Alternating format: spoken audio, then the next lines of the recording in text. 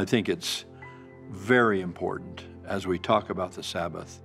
This is not a day for all the things you can't do. Uh, that, that would be a pathetic way to see the Sabbath. If you visualize the Star of David, it's the convergence of triangles making a six pointed star. And the convergence at the top of one of those is quite narrow. There would be some things that I'm limited in doing. We, we, we don't do some things on Sunday that we might have done appropriately through the week.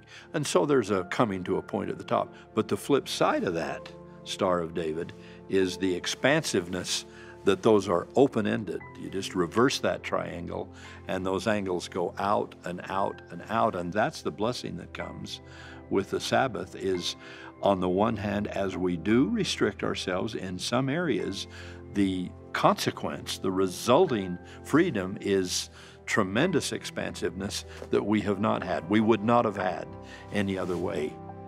It's a day of dues. It's a day of blessings. I had to learn that as a young man. I remember as a teenager needing to grow into that view of the Sabbath. But it's certainly been one of the rewarding things of my life to see it that way.